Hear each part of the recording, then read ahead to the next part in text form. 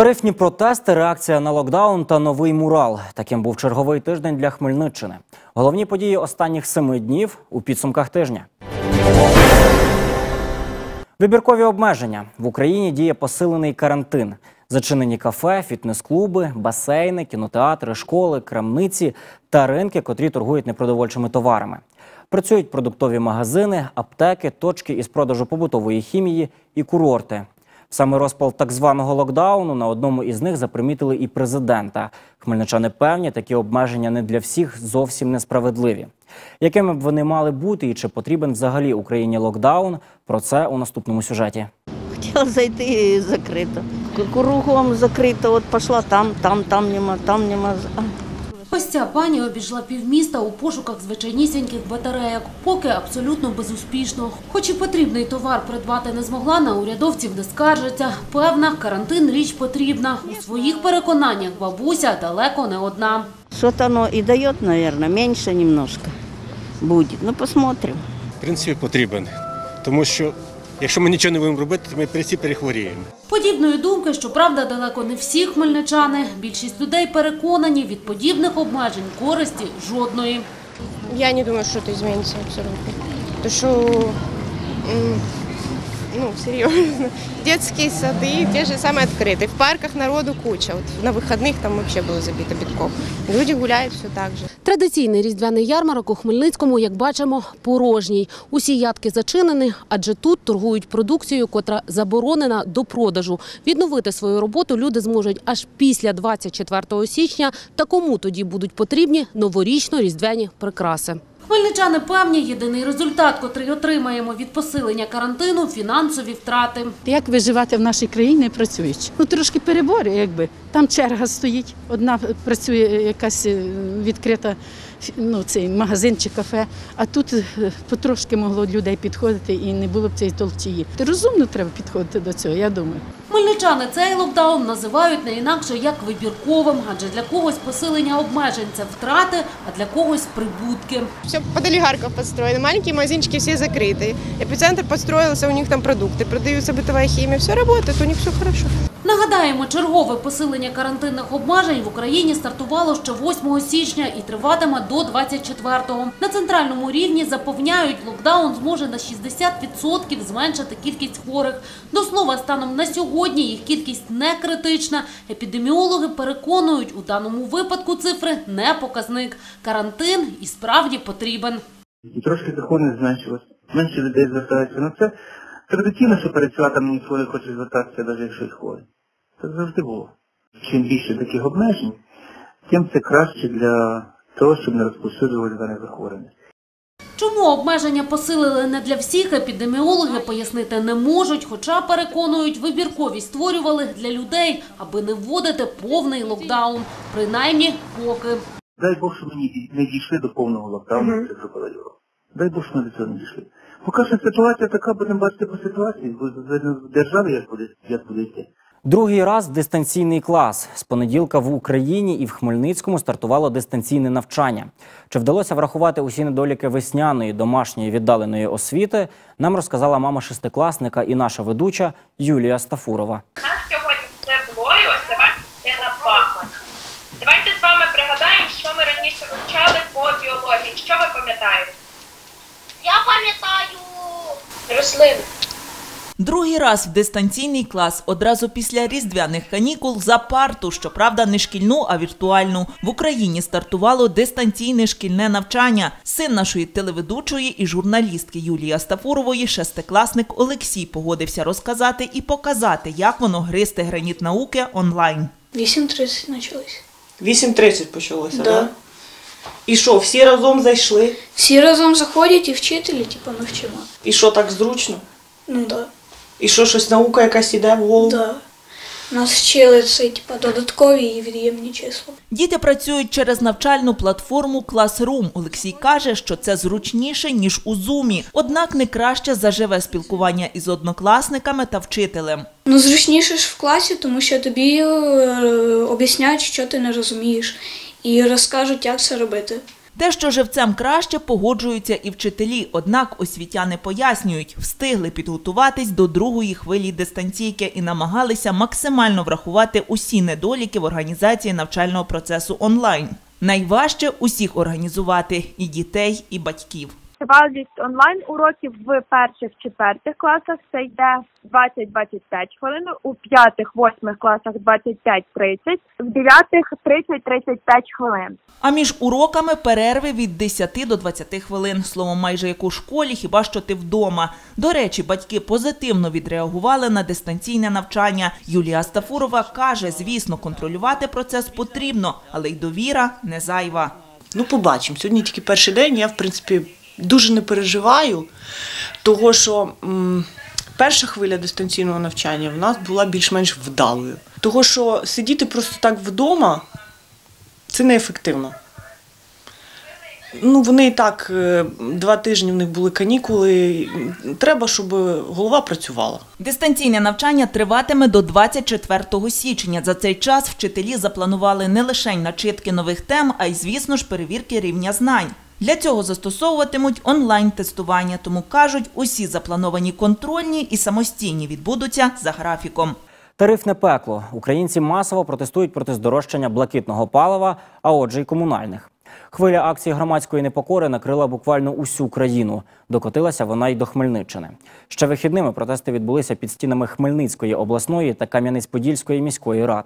Головний результат, котрого вдалося домогтись людям, це доручення президента. Володимир Зеленський поставив кабіну завдання терміново розв'язати питання з тарифами на газ для населення. Чи виконали урядовці завдання, чому дорожчає газ і що потрібно зробити для того, аби комунальні не з'їдали пенсії?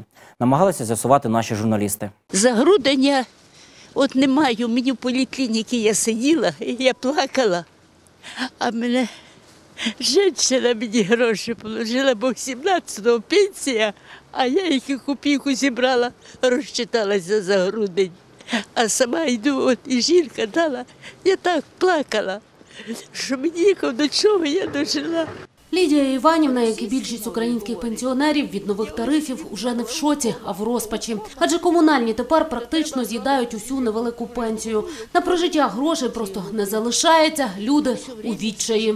Якщо б не діти, що не хочеться їх позорити, отакого, коли б мені б дали взривчатку сюди, чи себе підпалити на площаді. Вихідними Україну накрила хвиля протестів. Люди пішли на майдани, аби пояснити владі, так жити не можна. Чи не першим на суспільне невдоволення зреагував народний депутат України Сергій Лабазюк. На своїй сторінці у Фейсбуці обранець підтримав протестувальників. Моя позиція залишається незмінною. Я категорично проти підвищення тарифів на газ та електроенергію, особливо в період пандемії, коли сотні тисяч українців опинилися на межі виживання. Завтра відбудеться нарада з прем'єр-міністром Денисом Шмигалем, виконуючим обов'язки міністра енергетики та представниками офісу президента. Сподіваюся, що уряд все ж таки почує своїх громадян та розробить план антикризових заходів для вирішення тарифної проблеми. Вирішити питання з тарифами Кабміну доручив президент України. Володимир Зеленський заявив, ціни за комуналку не повинні рости. Тарифи на газ для населення мають бути справедливими. Ціна на газ зростає на ринку через погодні умови та інші причини, які склалися в Європі, і ми не можемо дозволити зростання ціни для наших громадян.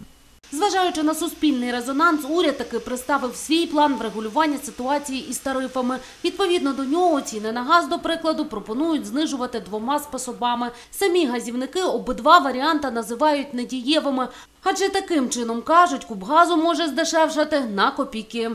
На 47 копійок можна буде знизити вартість газу. Все. Тобто це не буде 3 гривні, 5 гривень, це буде 50 копійок. Постачальники блакитного палива певні, способи здешевлення газу є, утім про них чомусь урядовці ні слова. На мою думку, дану ситуацію можна врегулювати одним чином: змусити НАК Нафтогаз виконати газ власного видобутку на біржу українську енергетичну біржу і продавати на біржі у вільному доступі, щоб до цього газу був вільний доступ абсолютно всіх постачальників. За словами Андрія Левицького, український газ сьогодні не продається, його зберігають у сховищах. Чому і навіщо, пояснює дуже просто. Все-таки НАК Нафтогаз хоче лишатись монополістом на цьому ринку. А коли він стане повним монополістом, він зможе повністю диктувати якби ціну на, на Наразі, каже керівник підприємства, блакитне паливо українці вимушено купують за кордоном. Ціни на імпортований газ світові. На європейських енергетичних біржах станом на сьогодні газ навіть дорожчий, аніж його продають населенню в Україні. на 11 число. Ціна газу в Європі вже 10 тисяч 331 гривня за тисячу метрів кубічних. Тобто це 10,33 за один кубічний метр. А це ще потрібно заплатити за точку входу, за транспортування території України. До слова, станом на сьогодні газ на Хмельниччині не найдорожчий в Україні. Вартість кубу зросла буквально на гривню. На 11% на гривню 8,88 була, і зараз 9,91. Чи буде подальше зростання, газівники поки говорити не беруться. Кажуть, усе залежатиме від європейського ринку. Не приховують, зважаючи на ситуацію у суспільстві, сподівається і на відкриття українського. Адже певні це реальна можливість відчутного зменшення ціни. Якби була воля зверху, економія на Кубі могла б бути від 2 до 5 гривень. Карантинно-тарифний спротив. В Хмельницькому одночасно відбулося два мітинги. На головному майдані краю зібралися противники чинної урядової політики. В основному люди нарікали на локдаун та стрибок цін на комунальні, хоча траплялися і противники вакцинації та дистанційного навчання. На Хмельницькому майдані балаган. Тут сьогодні одночасно відбувається одразу два мітинги. Чого зібралися люди? Зараз будемо з'ясовувати у них самих. Доброго дня. Скажіть, будь ласка, чому сьогодні сюди прийшли? За тарифи, щоб знищити за ті тарифи. Зниження тарифів на комунальні – головний посил владі від мітингувальників. Люди кажуть, ті суми, котрі до підвищення бачили у платіжках, не стягували, тому нових просто бояться. Я інвалід, в мене 216 гривень, той 2016 гривень пенсія. Як я можу 1300 я заплатила комунальні, а далі що я маю робити? За що я ліки маю купляти? Пані Раїса на Майдані не лише через тарифи. В руках у жінки ще й плакат проти вакцинації. Скажіть, будь ласка, а чому ви проти вакцинації? Російської, російської, китайської проти. Тільки за нормальну вакцинацію, а не оці підстави, що вони нам підставляють. Теперішню урядову політику жінка взагалі вважає антинародною. Певна, посадовці не розуміють людей і не хочуть їх чути. Ми живемо на землі, а вони на планеті не знаю на якій. Вони нас не чують і вони навіть не прислухаються до того, що люди тут, чим люди займаються на землі. Приблизно такої ж думки і ось ця пані жінка також не лише проти тарифів. А ви думаєте, що дистанційно можна чомусь навчитися? Якщо маленька дитинка хоче йти в школу і не знає, як правильно поставити ручку, то це вже дуже. Тарифи, дистанційка і власне сам локдаун – головні причини, через які хмельничанка мерзне на Майдані. І таких, як вона, самі бачите скільки. Серед мітингувальників й обранці народу. Депутат міської ради від команди Семчишина переконує, депкорпус людей підтримує. Ми збираємо позачергову сесію міської ради цього тижня і будемо доводити різні звернення з приводу і локдауну, з приводу е, тарифного геноциду, який відбувається по всій Україні, і безпосередньо е, в нас на Хмельницькому. Так само на сесію планують зібратися й обласні обранці. Позачергове засідання анонсують у п'ятницю. Ми маємо всі е, різними своїми силами, засобами через різні канали звертатись до кабінету міністрів і нагадувати їм, що тут є народ, який живе, який ледве виживає і потребує їхнього захисту. Пані Лариса каже, тарифи не єдина проблема, яку обговорюватимуть. Сама підприємиця, тож за відміну локдауну, певне рішення щодо посилення обмежень мають приймати не в центрі, а регіони. Додає, таку позицію Хмельниччина уже доводила уряду. Утім, як кажуть, а віз і досі там. Особисто подавала е, звернення до депутатів нашої обласної ради, і всі депутати це звернення підтримали про те, щоб звернутися до кабінету міністрів і передати повноваження на місця місцевим радам самим визначати рівень обмежень, тому що е, ну на місцях краще влада бачить, який рівень е, захворюваності. Він навіть різний в різних е, районах Хмельницької області. Чому урядовці не прислухаються до місцевої влади та зрештою до власного народу представники центральної пояснити не можуть. Заступник очільника краю рішення зверху коментувати відмовляється. Як представник е, влади, е, ми маємо рішення е, центрального органу виконавчої влади, які сумлінно зобов'язані виконувати. Два звернення, два підтримано. Хмельницькі міські депутати зібралися на позачергове засідання сесії. Змусило їх це зробити підняття тарифів на енергоносії та запровадження локдауну. Як реагували міські обранці на рішення центральної влади? Далі. Скасувати локдаун, бо він недоцільний на території Хмельницької громади. Це звернення депутати міської ради на сесії внесли першим. За словами ініціатора звернення, теперішні обмеження місту та громаді не потрібні. Альтернатива адаптивний карантин, а локдаун призведе до економічних втрат. Для чого ще раз запроваджувати той карантин, коли в день 5, 4, 6 тисяч хворих людей, а було 17, 18, 20? Для чого це не зрозуміло? Тому прошу, наприклад, підтримати звернення. На противагу виступила пропрезидентська фракція. У той час, як у Німеччині, Франції, Нідерландах та низки інших країн Європи запроваджуються жорсткіші правила локдауну, ми зараз хочемо навпаки його відмінити. Це сюрреалізм в теперішній час. Колегу засудили інші депутати. Коли мама дитиною в першому класі змушена залишатися вдома, а тато знаходиться на карантині, повірте, таку середньостатистичну сім'ю потрібно щось годувати. І як на мене, зараз ви граєтесь в політичні ігри і щось прикриваєте. Перестаньте займатися ерундою і спустіться на землю. Може бути тільки адаптивний карантин, це коли місцеві органи приймають в залежності від ситуації з ковідом. Люди, які безсимптомно хворіють, мають виявлятися і сидіти вдома, а здорові мають працювати в будь-яких умовах, навіть під час війни. Інше звернення стосувалося необґрунтованого підняття тарифів на енергоносії. Скасування підвищення тарифів на природний газ, послугам розподілу природного газу та електроенергії для населення, для бізнесу та комунальних підприємств, скасування окремого тарифу за доставку та транспортування газу, оприлюднення структури розрахунку тарифу з оплати природного газу побутовим спожива- споживачами та структури розрахунку тарифу за послугами транспортування газу. За словами міського голови, нові тарифи вдарять по кишенях людей та комунальних закладах. Підвищення вартості за транспортування газу буде вартувати для них обох е, в місяць 13,5 мільйонів гривень. 13,5 мільйонів гривень вони будуть змушені віддати з тих коштів, звичайно ж, які ж зберуть з мешканців, віддати тільки за транспортування газу, не кажучи вже безпосередньо про сам газ. Ажіотажу не було, покупців поменшало. Перший місяць року був насичений на зміни. Зросла вартість комунальних послуг і мінімальна зарплата. А ще з 8 січня Україна пішла на посилений карантин. Як вплинули усі ці нововведення на ціноутворення на хмельницьких продовольчих ринках, розбиралася Юлія Стафурова. Газ по 9, електроенергія гривня 68, мінімальна зарплата 6 тисяч гривень. Як усе це вплинуло на ціну утворення продуктів на хмельницькому продуктовому ринку, зараз і дізнаємось. Ну і звісно, не забуваємо про повний локдаун. З 8 січня в Україні посилили карантинні обмеження. Щодо дотримання вимог, то хмельницькі ринкарі виявилися в основному законослухняні. На роботу вийшли переважно ті, кому дозволено. Утім, дивіться самі. А по чому носочки? Що? Ми не продаємо нічого. Ми нічого не продаємо. Ми дитині взяти колготи. Все, відходьте. Ми беремо колготи дитині. Ну тобто продаєте? Ну, ні, не продаємо ми нічого. Ми дитині своїй беремо колготи, що не можна взяти. До слова, не усі покупці підтримують посилення обмежень. Мовляв, вони вибіркові і не на часі. А ви проти, так? Звісно. А чому? Ви це нужне? Хто слабий був, то вже вмер. А хто ще слабий, ще не скаже.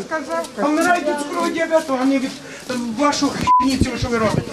Цікаво, що цього разу перед карантинного ажіотажу продавці хмельницького продовольчого ринку не спостерігали. Перед локдауном ніхто нічого не закупався там.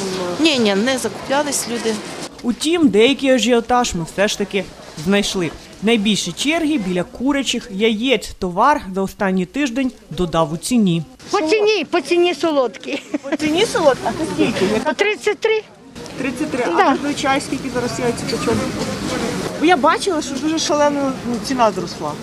Зросла ціна, ну вони ж посчитали, нам пенсія велика, то вже добиває цих пенсіонерів, та й все.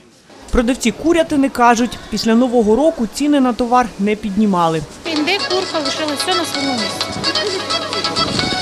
Філі 88, стегно 68, крило 45, подешевіло. Е, Окорочок 58, четвертина 50. Тим часом торговці свининою зазначають, аби втримати людей, навіть знизили ціну на деякі позиції. Задня частинка коштувала теж 115-110, тепер 100 гривень. Утім, попри відносно лояльну цінову політику, продавці кажуть, людей на ринку суттєво поменшало. Може, вже людей грошей немає, повитрачали. Ніхто нічого не бере. Стоїмо від ранку людей нема. Люди тут ходять, але нічого ніхто не бере.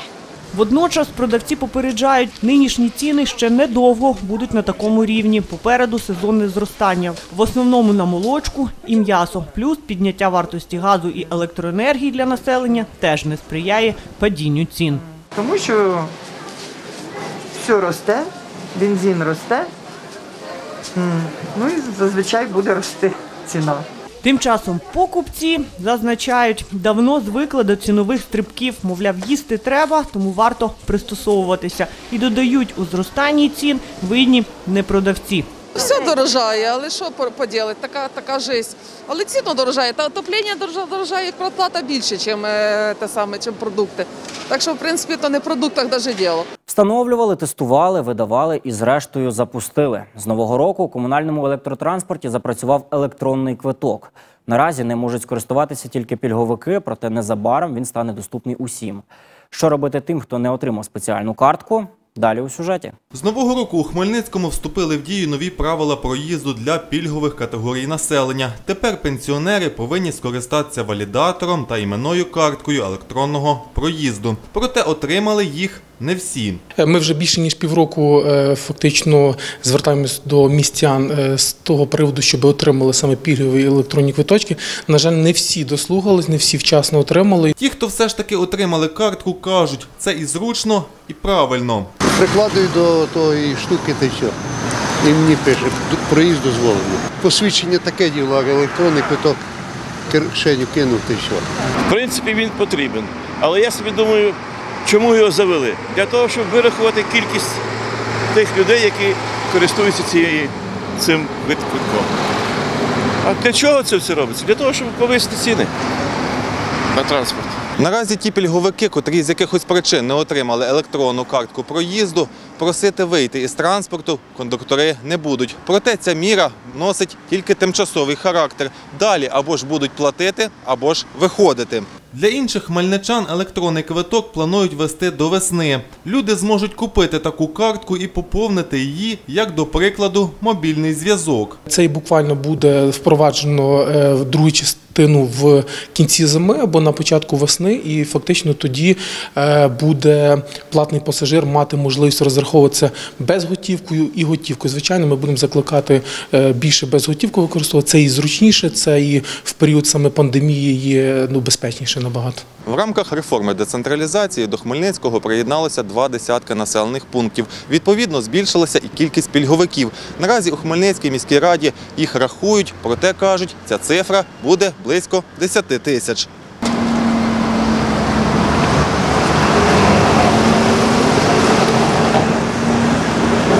Новий рік, нові цілі. Аграрії зацікавлені у налагодженні співпраці з обласною радою. Очільниця Віолета Лабазюк завітала із робочим візитом в село Новоставці Теофіпольської громади. Там відвідала одну із найбільших ферм. Це одне із основних бюджетонаповнюючих підприємств. Про що говорили, Оксана Медведєва знає більше. Ферма досить немала, 725 курів це більш-менш ферма така, яка має право на своє існування. Ну, Звісно, у нас зараз перспектива йде збільшення поголів'я, ми маємо збільшити до тисячі голів. Чим більша ферма, тим вона більш-менш приносить більший прибуток. Так Іван Шатайло розповідає про ферму у селі Новоставці Теофіпольської громади. Зізнається, справи йдуть непогано, втім не приховує, хотілося б розвиватися. Надій теж на сьогоднішній день так би нам хотілося більшого, непоганий. На сьогоднішній день ми даємо 25 літрів молока, це на фуражну корову. Надійно там виходить 28 з копійками. Так що теж маємо до чого рости, до 30 літрів. Аби досягти омріяних 30 літрів, потрібна стабільність в країні і області, кажуть фермери. Як буде працювати рада, в якому напрямку, як буде з тарифами на світло, газ, як буде розвиток громад. От такі питання мене саме більше цікавили. Як буде співпраця з підприємствами, такими як МХП і дрібними фермерами. Аграрій Сергій Прокопчук не лише керує цією фермою, а й обробляє землю у 55 населених пунктах Хмельниччини та сусідніх областей. Його підприємство одне із основних бюджетонаповнюючих для Теофіпольської громади. Тому що обробляємо не одну тисячу гектарів землі в районі, плюс тваринництво, це зарплата і подібні речі. Тобто орендна плата за землю, і звідти виходять всі податки. Тут тісно налагоджена підтримка соціальної сфери, оскільки державі допомагають, очікують зворотньої реакції. Тому прийшли на зустріч із головою обласної ради. Я сподіваюся, що нова рада ну, дасть змогу розвивати наш район, ну не тільки наш, взагалі нашу державу.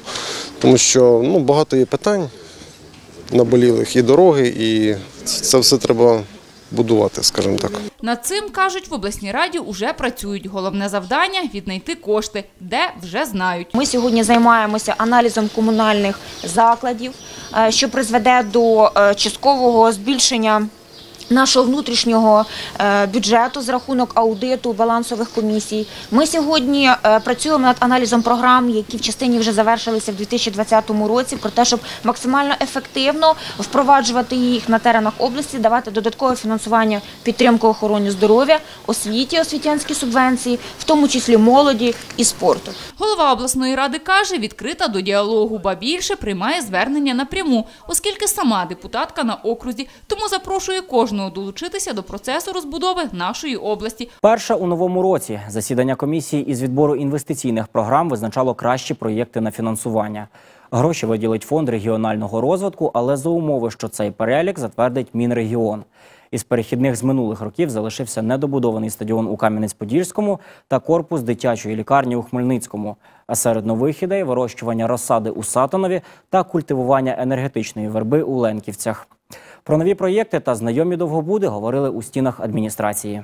Перше в цьому році засідання обласної комісії із відбору проєктів претендентів на фінансування із фонду регіонального розвитку провів його у форматі онлайн-конференції заступник голови адміністрації Сергій Ткачук. До роботи долучились голова обласної ради Віолета Лабазюк та її заступник Валентин Соколюк. У 2021 році із фонду регіонального розвитку для Хмельниччини передбачили більше 180 мільйонів гривень. Вимога Мінрегіону – це в першу чергу фінансування довгобудів, а 30% коштів спрямують на проєкти економічного розвитку області. Перша вимога Мінрегіонбуду – це завершити довгобуди, які фінансувалися за рахунок коштів ДФРР, що ми будемо озвучимо, тому що перехідні об'єкти в нас е, вже затверджувалися комісією і перелік їх сумою передавався в Мінрегіонбуд. На розгляд комісії подали шість нових проєктів. Так область потребує лабораторії якості сировини, бо Хмельниччина аграрна. Нашу продукцію постачають за кордон, а без відповідних висновків така торгівля ускладнюється. У нас були випадки, коли ми навіть е, виходили із підприємством Авіс, шукали лабораторію у Німеччині для того, щоб можна було дослідити яйця і підтвердити те, що наша продукція безпечна і вона може постачатися на ринок е, Сінгапуру.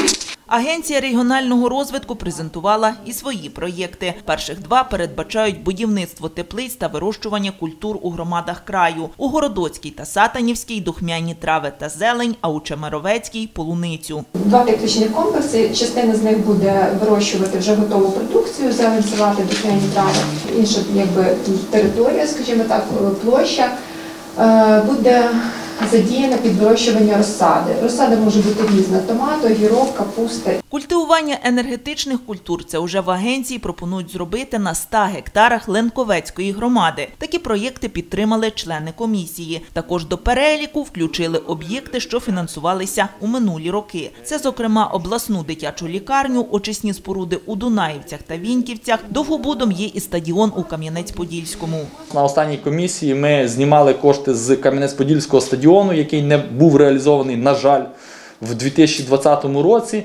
Ті кошти були перерозподілені на інші об'єкти, які реалізувались в 2020 році. І фактично в нас Кам'янець-Подільський стадіон він є перехідним об'єктом з минулого року до реалізації. Вже цього тижня комісія подасть перелік на розгляд Мінрегіону. Саме він вирішить, отримають проєкти фінансування чи ні. Необхідність чи нефахова робота у соцмережах активно обговорюють чергове омолодження дерев у парках міста.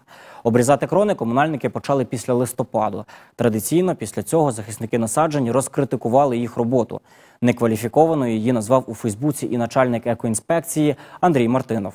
Тим часом комунальники виконали лише частину обрізки, тож на часі інші ділянки.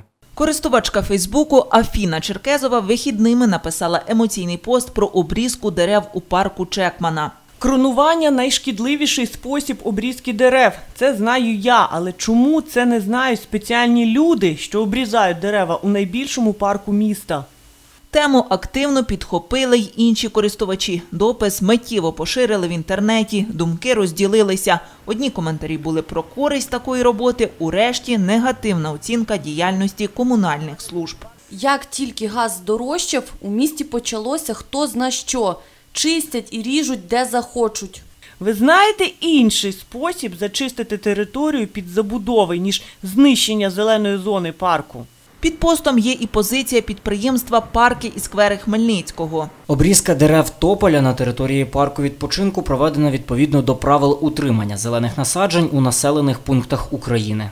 Оперативно відреагував у Фейсбуці на допис і голова екоінспекції в області Андрій Мартинов. Офіційного коментаря від державного органу після звернення ми не отримали. Це без сумніву пошкодження зелених насаджень. Стан цих дерев ми перевіримо, і навесні у випадку загибелі буде обрахована шкода із-за знищення насаджень. В департаменті інфраструктури ж кажуть, це радше особиста думка чиновника. Тож працюють над розчисткою дерев і надалі. До прикладу, у парку Чекмана торфяні ґрунти, тож під час сильного вітру там виламує дерева із корінням. А це несе загрозу перехожим. Робітники омолодили уже половину насаджень у парку. Триває робота і на інших ділянках. В міжсвятковий період між Новим роком і Різдвом ми трошки омолодили, трошки обрізали вулицю Кам'янецьку е, на ділянці від театральної, від Старицького до е, філармонії. Також е, тривають роботи з обрізки дерев по вулиці Чорновола в районі пивзаводу. Е, Парки і сквери проводили роботи в своєму парку. До такої критики з боку населення комунальники уже звикли, каже Василь Новачок. Стикаємося з е, постами, з позицією людей, які вважають, що це не зовсім правильно. То якби вже штука звична для нас. Е, Постійно наші працівники проводять рі- роз'яснювальну роботу. Е, Ну а власне переважна більшість людей залишається при своїй думці. Триватиме розчистка насаджень до весни, уповільнює роботу тепла зима. Через болото до дерев неможливо доїхати технікою. Відгомін свята вже у перших числах січня на смітниках почали з'являтися ялинки. У теплому приміщенні дерево швидко скидає гілки, тож стає непотрібним. Комунальники розказують, як правильно скласти дерево, аби його можна було відправити на переробку. Найперше його потрібно віднести на сміттєвий майданчик та позабирати металеві предмети із гілок. Відгомін свята вже у перших числах січня на смітниках почали з'являтися ялинки. У теплому приміщенні дерево швидко скидає гілки, тож стає непотрібним. Комунальники розповідають, як правильно скласти ялинку, аби її можна було потім відправити на переробку. Найперше дерево потрібно віднести до сміттєвого бака та позабирати металеві предмети із гілок. В жодному разі не потрібно ялинку кидати в контейнера, оскільки в подальшому це загрожує тому, що контейнер буде переповнений, завдяки тому, що ялинка сама по собі має великий об'єм. Кожного дня декілька екіпажів по всьому місту проводять е, підбирання цих ялинок, в подальшому їх вивозять на полі- полігон твердих побутових відходів і вони переробляються на щепу.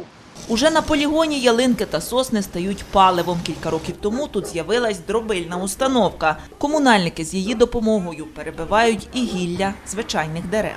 Звозить машина нам сюди, на дробільну машину, переробляємо на щепу і використовуємо для опалення ну, твердопаливних котлів, на лазню даємо і на приют, де собаки. Комунальники кажуть, приймають новорічні дерева на переробку у будь-який час. Головне, щоб вони були біля сміттєвого баку. Перші ялинки вже були 1 січня. Загалом, е, я думаю, що до кінця місяця е, відсотків 98 ялинок вже мешканці міста винесуть е, нам контейнерні майданчики, і ми їх підберемо. Але є відсоток мешканців, які з деяких причин можуть їх виносити навіть в травні місяці. З осені у Хмельницькому на місцевому полігоні запрацював центр управління відходами. За цей час його відвідало близько тисячі осіб.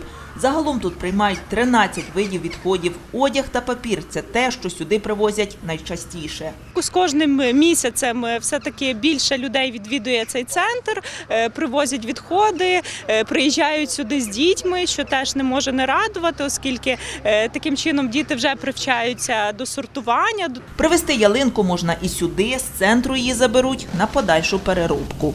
Красиво та інформативно. У Хмельницькому завершили ще один мурал на багатоповерхівці. Новий арт-об'єкт з'явився у мікрорайоні Гречани. Про складнощі виконання малюнку та думку містян про цю творчість дізнавалися наші журналісти. У Хмельницькому завершили морал із супергероєм. Роботи розпочалися ще у 2020 році, закінчилися уже у новому. Окрім самого Хмельмена, тут монтували термометр. Він є найбільший в обласному центрі. Як вам зображення? Нічого мені подобається. А що саме подобається? Взагалі подобається. Воно якось освіжає, де якийсь настрій трошки, трошки щось таке. Ну не знаю, я все время дивилася. Я тут живу, то я все время на неї дивлюся. Температуру часто піддивляєте? Ні, ні, не часто. Ну так собі. Ну дуже подобається, дуже. Нормально. Здалеку видно, яка температура. Над новим мистецьким об'єктом працював місцевий художник. Андрій Томчишин малює морали в обласному центрі не вперше. Мій улюблений з тих, що я робив, це е, Проскурів, біля, знаходиться біля центрального універмагу на вулиці Проскурівській. Я рахую, що він такий най- найбільш інтересний. Художник додає, працював над зображенням хмельмена близько місяця. Перед тим фасадну стіну утеплили та вкрили декоративною штукатуркою. Цей мурал робився в досить таку холодну пору, тому було е, ну, завжди було прохолодно, але допустимо для праці. Дощів було багато, як пам'ятаєте, в такому листопаді, але їх не було таких проливних. Тобто такі дощі, які були, вони якісь такі були, що зовсім не заважали самій роботі. Замовником робіт виступила міська рада. На це виділили 550 тисяч гривень. У профільному департаменті кажуть, ідея із зображенням хмельмена власна. От встановлення гігантського термометра підгледіли у інших міст. Витрачено було на виконання робіт 528 тисяч гривень. На сьогоднішній день я хочу сказати, що таке передове місто, як Львів, переймає нашу ідею і також цікавиться нашим градусником і хоче на своєму новому житловому комплексі впровадити цю ідею. Таким був тиждень, що минув. Бережіть себе і будьте здорові. Побачимось.